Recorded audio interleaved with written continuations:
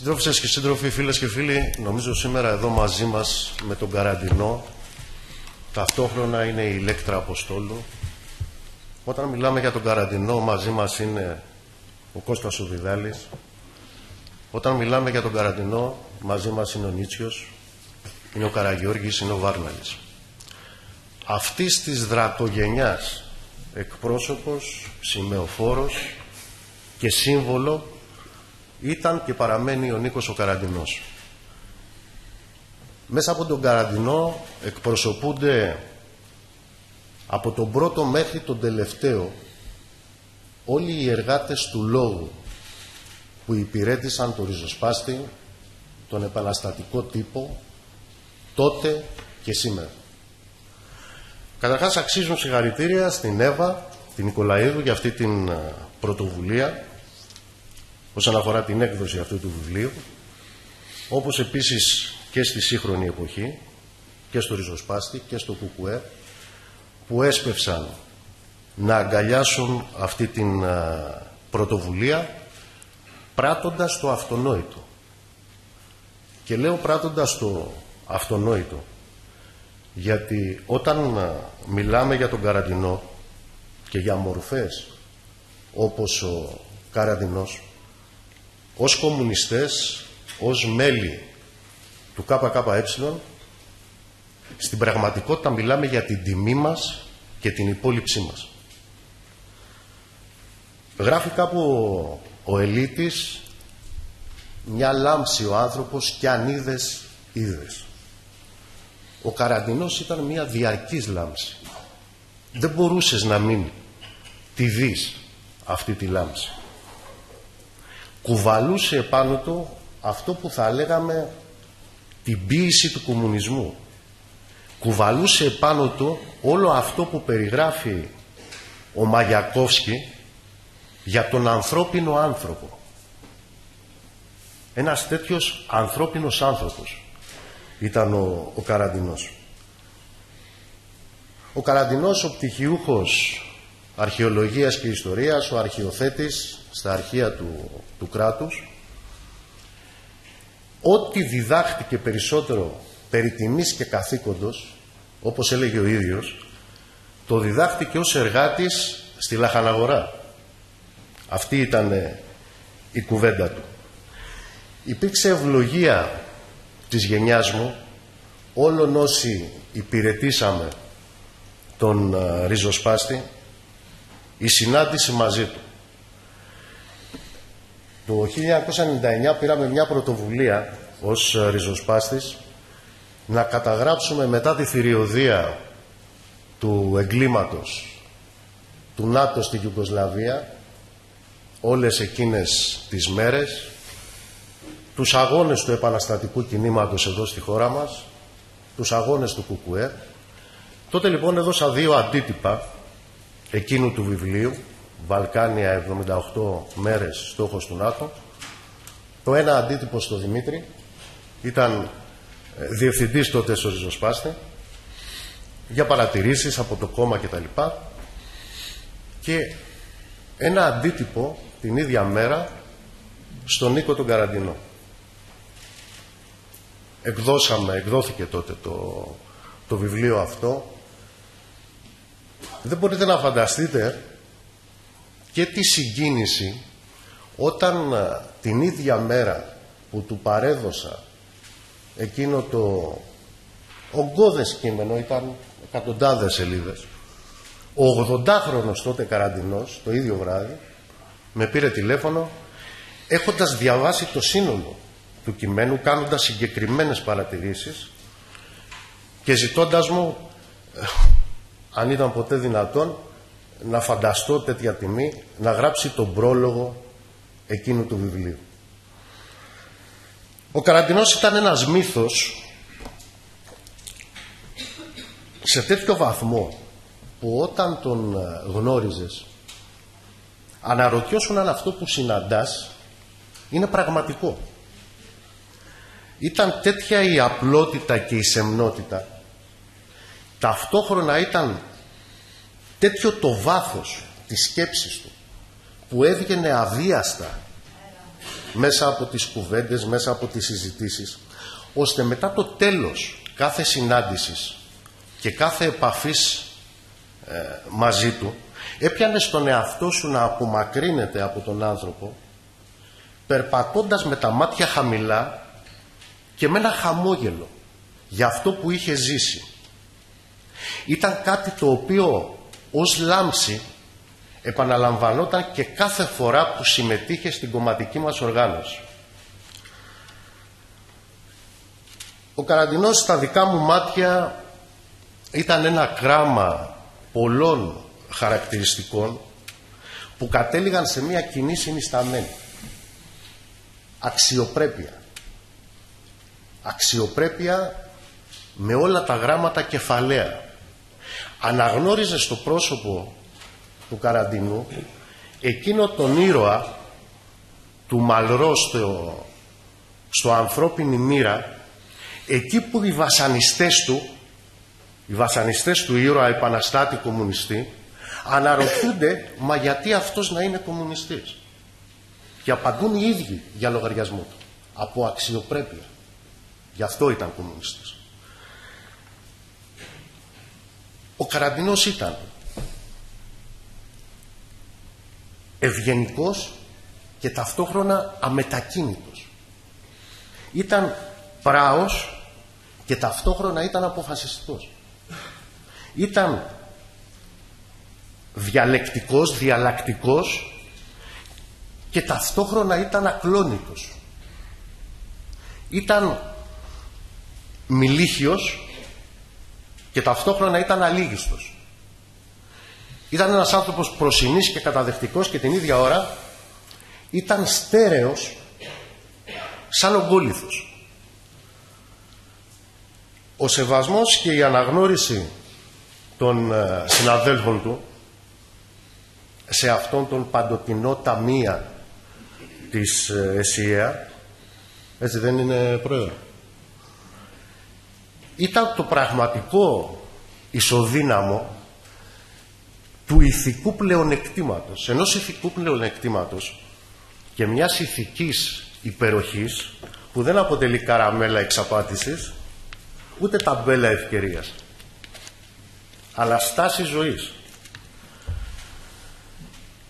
Αυτοί οι οποίοι λένε, αυτοί οι οποίοι λένε ότι ο υπεριαλισμός είναι η σωστή πλευρά της ιστορίας αυτοί που λένε σε εμάς ότι χρησιμοποιούμε ξύλινη γλώσσα όταν λέμε ότι είναι εγκληματίες αλλά μας λένε ότι είναι ε, εργάτες ε, της πολιτικής και της ανθρωπότητας αυτοί ε, που μας κατηγορούν για την ξύλινη γλώσσα έχουν και μία άλλη ακόμα χαριτωμένη θεωρία. Η θεωρία τους είναι ότι η ένταξη στην οργανωμένη ζωή η ένταξη στον κομμουνιστικό αγώνα ότι ισοπεδώνει την προσωπικότητα. Αυτή δεν είναι μία από τις θεωρίες τους. Λοιπόν, ο Καραντινός ήταν η απόδειξη της ε, παντελούς απόρριψης αυτής της ε, χαριτωμένης κατά τα άλλα θεωρίας. Η προσωπικότητα του Καραντινού σμιλεύθηκε ακριβώς μέσα σε αυτό τον οργανωμένο αγώνα. Ε, είναι ακριβώς αυτό το δέντρο της οργανωμένης ζωής είναι ακριβώς αυτό το δέντρο της ε, συλλογικότητας που παράγει τους νέους καρπούς που τους έχουν ποτίσει τα ατομικά χαρακτηριστικά ανθρώπων όπως ο Καραντινός. Ο Καραντινός όλες τις ιδιαίτερες αρετές του τις ανέπτυξε και τις διαμόρφωσε συμβάλλοντας την ανάπτυξη αυτών των αρετών μέσα ακριβώς στον οργανωμένο αγώνα στην ε, στρατευμένη ζωή. Στρατευμένη ζωή σε μια στην κοινή μας υπόθεση. Και ο Καραντινός ήταν σημεοφόρος της ε, κοινής μας υπόθεσης. Υπήρξε αμετάπιστος και ακλόνητος στη στράτευση με το δίκιο ο Καρατινός για 70 ολόκληρα χρόνια αποδείκνυε κάθε μέρα, κάθε στιγμή από το χτίσιμο των παράνομων τυπογραφίων της ΕΠΟΝ και της Εθνικής Αντίστασης μέχρι τα τελευταία του άρθρα στο ριζοσπάστη, λίγο πριν φύγει, ότι αντικειμενικότητα είναι να είσαι αμερόληπτα με τη μεριά των αδύναμων και των αδικημένων. Αυτό είναι αντικειμενικότητα. Τα κείμενα, η δημοσιογραφία του Καραντινού πέρα από διαμάντια της γλώσσας, πέρα από την καλλιέπεια, την καλλιέργεια, είναι ταυτόχρονα και ένα μάθημα ήθους και είναι και μία βαθιά υπόκληση στους δασκάλους του. Είναι ταυτόχρονα ένα δώρο στους νεότερους και μία διδαχή τι σημαίνει κομμουνιστής γραφιάς. Και όταν λέω διδαχή, είναι μια διδαχή η οποία γίνεται πάντα με σεμνότητα, χωρίς ποτέ να έχει προτεταμένο το δάχτυλο. Είναι μια διδαχή η οποία έχει ως σηματορό το προσωπικό παράδειγμα. Στο κείμενο του Καραντινού για την επιστράτευση ενάντια στην χιτλερική επιστράτευση του 43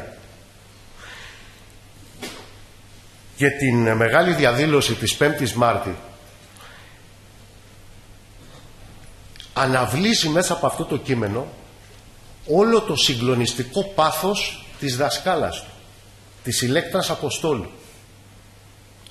Αν διαβάσει κανείς το κείμενο του Καραντινού για τη σοδιά, βλέπει κανείς τι σημαίνει δημοσιογραφία του καθήκοντος όπως ακριβώς τη δίδαξε και την πλήρωσε με το αίμα του ο Κώστας Βιδάλης. Διαβάζοντας το κείμενο του Καραντινού για την απελευθέρωση της Αθήνας αυτή δεν είναι μια απλή καταγραφή αλλά αποτελεί ταυτόχρονα ντοκουμέντο ανάλυσης αλλά και πολιτικό σάλπισμα, στοιχεία τα οποία τα έβλεπε κανείς στη γραφίδα του Καραγιώργη.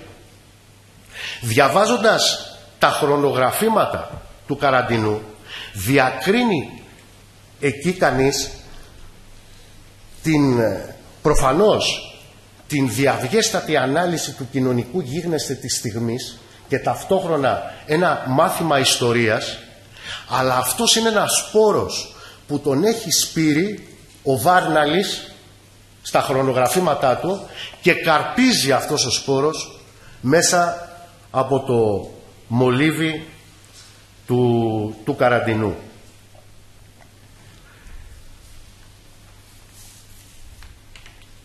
Αυτός είναι ο καραντινός. Ο καραντινός ήταν ε, μια νέα ποιότητα στην οποία διακρίνει κανείς όλα τα, τα υλικά αυτής της δρακογενιάς για την οποία μιλήσαμε και μέλος της οποίας ήταν ο Καραντινός. Προφανώς ο Καραντινός ήταν κομμουνιστής. Ήταν μέλος του Κομμουνιστικού Κόμματος Ελλάδας.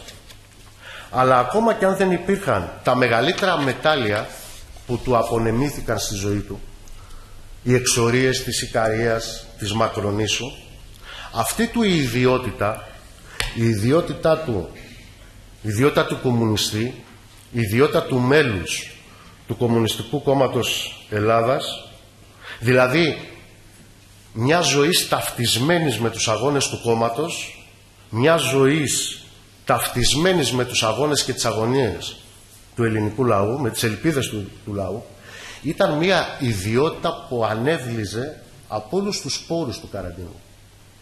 Ο Καραντινός ήταν αυτό που έλεγε ο Σαραμάγκου, ο μεγάλος κομμουνιστής Πορτογάλος λογοτέχνης. Είχα ρωτήσει τον Σαραμάγκο γιατί είστε κομμουνιστής; Και απαντούσε με κρατάνε κομμουνιστή οι ορμόνες μου. Ο Καραντινός υπήρξε το μέτρο. Έζησε όπως έγραψε και έγραψε όπως έζησε. Είναι και θα παραμένει η ζωντανή απόδειξη αυτός και η γενιά του εκείνο που κάποιοι νομίζουν ότι δεν υπάρχει, του αριστερόμετρου. Αριστερόμετρο υπάρχει. Και το έφτιαξαν οι καραντινοί. Φτιάχτηκε στο ΕΑΜ, φτιάχτηκε στον Ελλάς, φτιάχτηκε από το Δημοκρατικό Στρατό, φτιάχτηκε στα άπαρτα βουνά, φτιάχτηκε στον τοίχο της Κεσαριανής, φτιάχτηκε σε φυλακές και εξορίες, φτιάχτηκε στην παράνομη διακίνηση του ριζοσπάστη και είναι με αυτό το αριστερό μετρό που δίνονται οι μάχες σήμερα στα εργοστάσια, στα γραφεία, έξω από τα κέντρα πληστηριασμών, δημιουργός και αυτός αυτού του αριστερόμετρου υπήρξε ο Καραντινός. Ο Διονύσης της ε, αντίστασης και των παράνομων τυπογραφίων, ο Νίκος της αστικής νομιμότητας, είναι αυτή η φιγούρα που βγαίνει μέσα από τους στίχους του Λιβαδίτη. Γράφω για αυτούς που δεν μπορούν να διαβάσουν. Το Κουκουέ και εμείς, τα μέλη του, είμαστε περήφανοι για τον Καρατινό.